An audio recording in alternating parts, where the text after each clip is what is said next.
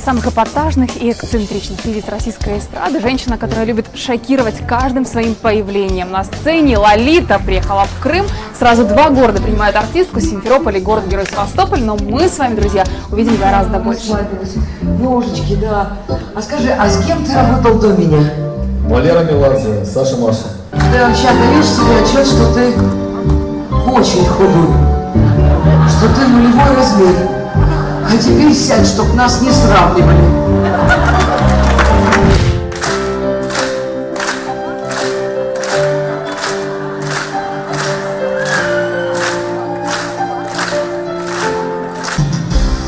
И как мы не были далеко, я расскажу своим облакам, кроме тебя, что ты ни о ком, а, я без тебя наверняка. У вас есть любимые песни?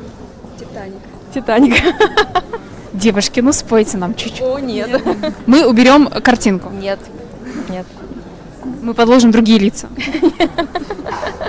Нам нужна такая женщина, чтобы прям вот спела и чтобы аж душа развернулась. Вот такая нам нужна женщина. Вот женщина, я вижу. вижу. Добрый вечер. Здравствуйте. Вы с цветами. Для, для Лолиты купить. Ну да. Красивые. Старалась. Мужчины, добрый вечер, здравствуйте. Это все мне, столько цветов, спасибо большое. И это, ну, не стоило было, конечно, но мне очень приятно. Я с вами спою, честно. Давайте кусочек. Нет, я не, решусь. Извините, не решусь. Нет, не надо слов. Не надо паники Это мой последний день. на Титанике. Ну не переживайте так, я знаю, что это для Лолиты. Пошлю его. На небо за звездочкой. Ну, а дальше по тексту. Нет, не надо слов. Не надо паники, Это мой последний день. это последний.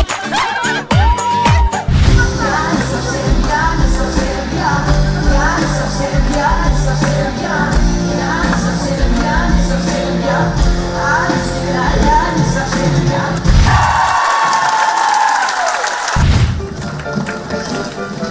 Сейчас, мужчины, не трогайте мужчин, друзья. Заняли длительная песня. Стойте. Концерт закончился просто феерично, зал аплодировал стоя, а для нас, друзья, все только начинается. Мы идем за кулисы для того, чтобы лично пообщаться с Лолитой. Что ж, друзья, видите, написано не стучать, но мы постучимся, нам можно.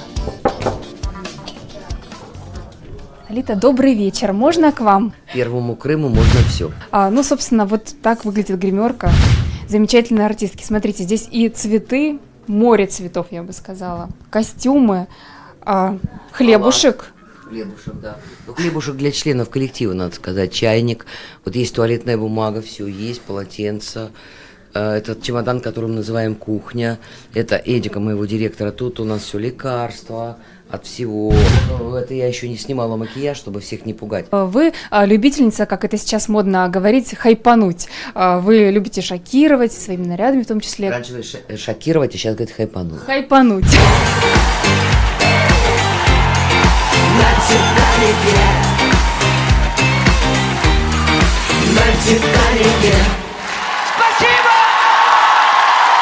Как вы относитесь вот к критике в свой адрес? Замечательно отношусь, естественно, конструктивно. А Ваша коллега по цеху Мадонна недавно отметила свое 60-летие. Вы а, видите свой юбилей на сцене? Я еще не отметила 55. Поэтому я не знаю. Вам как- и не дашь 55? Слушайте, но у нас у всех с Мадонной есть нечто общее, в том смысле, в одном хорошее. В определенном возрасте мы все подтягиваем что-нибудь. Но Мадонна, в отличие от меня, ходит в тренажерный зал. Я выбрал другой путь, без тренажерного зала, в 55. Да, не быть такой же стройной, как Мадонна. Но при моем росте метр семьдесят три он спасает, у нее метр шестьдесят семь. Поэтому ей вообще нельзя доводить себя до моего состояния, это сразу будет колобок. А мне в метр семьдесят три с половиной еще можно, плюс каблук. Все говорят, Алечка, вы так похудели, так похудели. А сразу, ну я на сцене работаю без каблуков, вот в балетках. посмотреть такие красивые Да. балетки? А что это за балетки? Сейчас я могу сказать, когда я покупала в Канаде, и я не обратила внимания на фирму, и сожалею, что взяла только четыре пары. Очень удобно работать, и ты не думаешь о том, как ноги устанут, там спина устанет от каблуков. В Крыму вы успеете чуть-чуть побывать, если не успеете улететь, да? Вот сегодня замечательная женщина мне дарила цветы. Она на перевале торгует медом, лавандой, орехами. Благодаря э, именно ее стараниям я научилась сама варить варенье шишек и сушить лаванду. Я в этом году сварила варенье из грецкого ореха первой жизни. Ого! Это геморройно. О, Получилось. очень, очень вкусно. Просто по-сумасшедшему. А что еще из Крыма привозите? Ну, э, мне многие говорят, что то, что я привожу, это не есть крымский лук. Ну, знатоки говорят, что красный лук, он не есть обязательно крымский. Оказывается, в Крыму он растет в определенных условиях, где-то. Он вырастает, э, не, он не, не весь год. Но я с таким удовольствием, значит, с сеточкой, которая так иду. Но, честно, он поедается так же замечательно. А любимые места есть у вас? Вот там южный берег Крыма или, допустим, западный, там Ялта. Вы знаете, любимое место – это домик Чехова. Почему? Любимее места нет. Энергетика. э, ты заходишь в этот дом, ты понимаешь, что в нем происходит суета, и ты чувствуешь усталость Чехова от гостей. Э, он сбегал уже оттуда, специально был маленький, потому что он оставлял всем артистам МХАТа и прочим, всем, кто, значит, э, люди как люди, они ничем не отличались. Такие же артисты, которые приезжали, это, а вот сейчас бы это выглядело, чувак, оставь ключи от квартиры, да? И бедный Чехов, э, значит, э, куда-то съезжал э, в небольшой домик, очень красивый. Как оставаться такой же энергичной, так ослепительно выглядеть, как и вы? Ну вот поделитесь с нами, пожалуйста, своими секретами. Знаете что, главное не думать о том, чтобы каждый день ослепительно выглядеть, потому что так можно сойти с ума. Э, Я любитель вообще копаться, мягко говоря, в огороде без перчаток. Что бы я ни делал, потом, значит, эти ногти, это кошмар. Потом я звоню девочке, которая мне делает, говорит, ты можешь мне спасти одну руку? Я не успеваю, это уже не делаем, но это рабочее, а мне брать микрофон, а сейчас в камеру, и все будет видно, что я без маникюр. Так вот, если ты травмируешь психику все время на показ, ты сломаешься. Поэтому я желаю всем, и мужчинам, и женщинам, не надо жить на показ. Быть искренней, быть настоящей, быть собой, как Лолита. Спасибо вам огромное. Можно я вас обниму? Спасибо вам. Спасибо вам большое. Сюрреалистичные картины, поражающие своей оригинальностью. В Симферополе открылась выставка крымского художника Юрия Лаптева. Здесь представлены работы не только выполненные акварелью, но и так называемые афорты, которые создаются с помощью специального станка. На это уходит уйма времени. Мне не терпится пообщаться с художником. Пойдемте. Как, как читать правильно картины сюрреалистические? Потому что каждая деталь, она какое-то имеет значение, правильно? Она неспроста здесь. Вот почему, например, вот на этой картине, пойдемте сами, пойдемте, пойдемте, почему на этой картине белый кот? Вот скажите, пожалуйста. Вот рыбы, рыбы, рыбы, рыбы, все понятно, все понятно. Та-дам, белый кот. Коту очень острое зрение, и он в капле может мир увидеть, и все что угодно. А, Виктор, вы как эксперт, э, расскажите про те работы, которые сегодня представлены на выставке. Гениальный график Юрий Лаптев. Это ваш я, друг. я счастлив, да, я счастлив его представлять здесь, потому что это действительно, он ушел дальше, чем Сальвадор Дали. Он не нашел еще такого ценителя, знаете, который купит сразу за миллиард долларов. Но он найдет, он найдет. Вы считаете, что, например, вот эту картину можно продать за миллиард долларов? Э, Ваши работы на самом деле могут стоить миллионы долларов. Вы с ним согласны? Ну, это, наверное, расхожее мнение. Если Сотби заинтересуется моей работой, допустим, а вполне возможно, что на аукционе она будет стоить там, там 10 тысяч или 20 тысяч долларов. Это графика, это сделано в уникальной технике, это форт. В этой технике работал Рембрандт, Дюрер. Я знаю, что в Крыму осталось всего там 3-4 художника, которые владеют такой техникой, фортом. Почему вы до сих пор этим занимаетесь? Проще просто писать картины красками по старинке, на холсте. Это, наверное, болезнь. Кто однажды попробует эту, эту технику, наверное, больше никогда уже от нее не, далеко. Ты весь в краске по локоть, все в краске, потому что это ручная работа, и по-другому доску не зовите оформлено. Это древняя техника, 16 века. Кванты вот этого металла, ты как бы прикасаешься к чему-то такому запредельному. Вы студентка? Да, я студентка, я сама тоже учусь на графическом дизайне, э, училище Самокиша. Вот. Четвертый курс. Уже вы успели пообщаться с художником? Нет, еще пока не успела. Стесняетесь? Да. Правда, стесняетесь? Пойдемте, я вас познакомлю. Как вас зовут? Настя. Юрий, это Анастасия. Анастасия – это Юрий. Юрий, ну пообещайте, пожалуйста, что вы посмотрите работу Анастасии. Да, обязательно, конечно. Друзья, я соединяю творческие сердца. Обращайтесь. Номер телефона вы видите на своих экранах. Тоже художник? Нет. Ну, вы какой-то творческий человек. Да. А чем занимаетесь? Творчеством.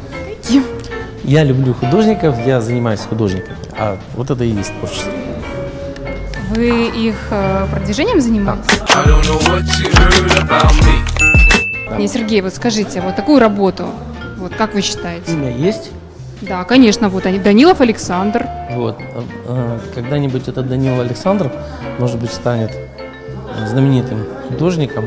И это будет уже оцениваться там с пятью, с шестью нулями. Ты мечтаешь стать художником, когда вырастешь? У меня много картин, я с- люблю срисовывать, но больше всего люблю рисовать цветными карандашами. Ты хотел бы познакомиться с художником? Да, я хотел бы, очень хотел бы познакомиться с художником, Хочешь, я тебя познакомлю? если можно. Конечно, можно, пойдем. Конечно, пойдем найдем художника.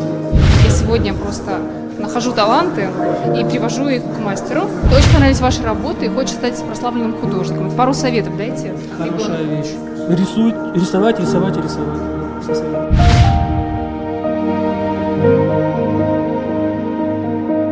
Саш, ну это, хочу тебе сказать, шедевр. Это сразу видно. Это а, мальчик, который поет на, на дудочке. Это его ангел-хранитель. Это- у этих ангелов-хранителей есть ключ от любой ситуации. Боже мой, какой умный ребенок. Мне очень нравится, что картина позитивная, здесь даже гора улыбается. Юрий, вы можете взять эту работу на свою выставку? Да, давайте. Как назовешь? Ангелы и мальчик. Так, ну что ж, вот Данилов Александр, 2018, картина «Ангелы и мальчик». Друзья, вашему вниманию. Ты счастлив, Саш? Да, я очень счастлив, я не верю. Твоя работа теперь будет на выставке висеть, ты представляешь? Спасибо вам большое, вы исполнили мечту мальчика только что. И вам спасибо большое. В следующий раз увидимся на твоей персональной выставке. Я надеюсь, да. Позовешь меня? Да. Дай пять.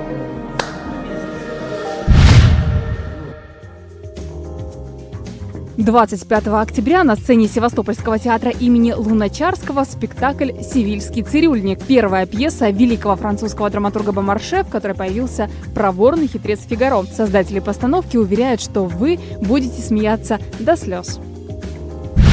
27 октября на сцене детского театра «Золотой ключик» сказка о царе Салтане. Настоящая жемчужина в россыпи поэтических произведений для детей. Благодаря режиссеру постановки Ирине Фаустовой произведение гения русской словесности заиграло по-особому. Спектакль – лауреат нескольких театральных премий. 28 октября на этой же сцене спектакль «Как поймать облако». Режиссер спектакля решила окончательно убрать все границы между зрителем и актером, поэтому разместила публику прямо на сценической площадке, на подушках, по-турецки, на коленках, полулежа, кому как нравится. Театр «Золотой ключик» приглашает вас стать не зрителем, а самым непосредственным участником действия. 28 октября на сцене детского театра спектакль для родителей «Аз Есмь Тварь». Через тайны, мистификации и откровения постановка открывает зрителям суть человеческого бытия. Благодаря камерной атмосфере артистам не спрятаться за пышные декорации и костюмы. Они оказываются один на один со зрителем, который слышит дыхание актера и внимает каждому звуку и жесту. Признаем, с трепетом в душе всех нас придумал Бомарше, музыкальная комедия «Покоренные любовью» или «Виват Франция» на сцене музыкального театра Республики 31 октября, начало 18.30.